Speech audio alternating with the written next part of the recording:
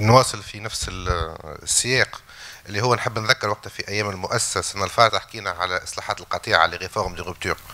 وواحدة من إصلاحات القطيعة اللي هي حكينا عليها اللي هي معناها الاصلاح اللي ينجم يكون في مجلة الشغل وكان الأمين العام تاع اتحاد الشغل حاضر معنا وحكينا فيه على الموضوع هذا اللي هي كيفاش نجموا نحسنوا في ال productivité. خاطر ما نجموا نحسنوا في التصدير نتاعنا إلا من نحسنوا في ال productivité.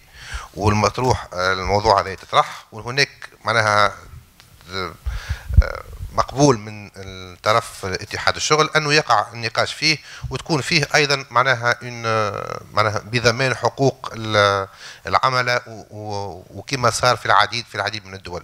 لكن تبقى دائما وهذا معناها تنجموا ترجعوا له وتشوفوا معناها شنو قال وقتها في في أيام في أيام المؤسسة أنه معناها يجب أن يكون الجانب الحكومي يكون عنده نظرة ويكون عنده أيضا القدرة على التفاوض لأنه في العديد من المرات يكون هناك اتفاقيات ويحبوا يمشيوا في في في في في, في, في إصلاحات خاصة في مجال الشغل وتحسين البرودكتيفيتي لكن ما نجموش نتحصلوا على نتائج. النقطة الثانية خاطر أنا عندي ثلاثة نقاط ما نجموا نحسنوا في التصدير ثم ثلاثة حوايج إذا كان تنجح الأحزاب اللي باش تربح من بعد باش تطبقها في الحكومة المقبلة اتو التصدير يرجع وحده وحده لأنه الأفكار باش نلقاو الفرص نتاع الاستثمار حتى ولو الدبلوماسية الاقتصادية ما خدمتش وحتى ولو القطاع الخاص عنده الفاعلية وقت يلقى ال opportunité يمشي لها وحده وحده. فقط أعطيه المناخ. أول حاجة فقدناها فقدنا ال productivité نتاعنا والإنتاجية وهذاك علاش لازم نرجعوها ونعملوا إصلاحات قطيعة فيها.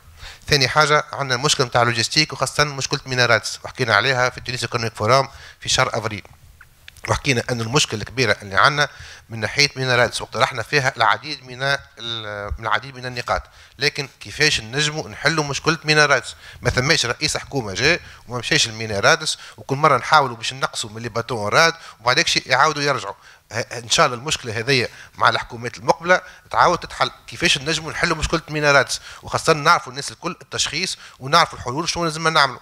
الناس تقول لك مشكلة في STAM مشكلة مش في STAM uniquement المشكلة في العديد في العديد من النقاط الأخرى.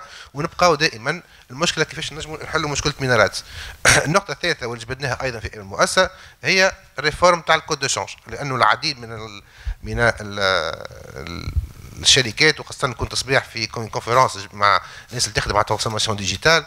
معناها ثم تشكيات كبيرة خاصة من ال start-up والناس تخدم في قطاع في في, في قطاع الخدمات والمؤسسات اللي تخدم في الوسوسة معناها في في, في, في ال offshore وعلى على التصدير تعاني من من مشاكل كبيرة في ال code change واقترحنا أشياء في أيام المؤسسة موجودة لكن دائما نبقى هي القدرة على الإصلاح والقدرة على التفعيل.